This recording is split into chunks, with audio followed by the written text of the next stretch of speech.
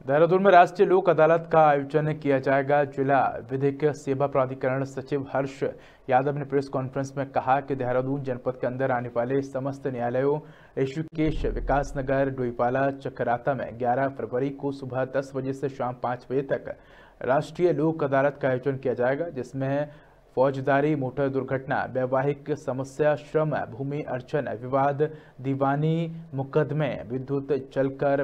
बिलों के मामले, वेतन, भत्ता, धन वसूली जैसे मामलों की सुनवाई की जाएगी। देहरादून से अवनीश गुप्ता की रिपोर्ट।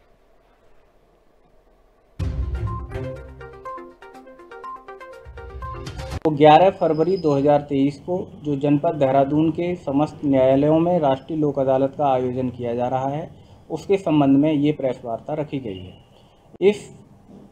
जो राष्ट्रीय लोक अदालत 11 फरवरी 2023 को आयोजित होगी, उसमें हमारे सिविल प्रकृति के वाद, फौजदारी प्रकृति के ऐसे बात जो समनीय प्रकृति के हैं, वो फैमिली कोर्ट से संबंधित सभी बात एनआई एक्ट के जो चेक से संबंधित मामले हैं और सब, सभी प्रकृति के ऐसे मामले जो कंपाउंडेबल होते हैं समनी प्रकृति के होते हैं, उनके निस्तारण इस राष्ट्रीय लोक अदालत के माध्यम से किया जा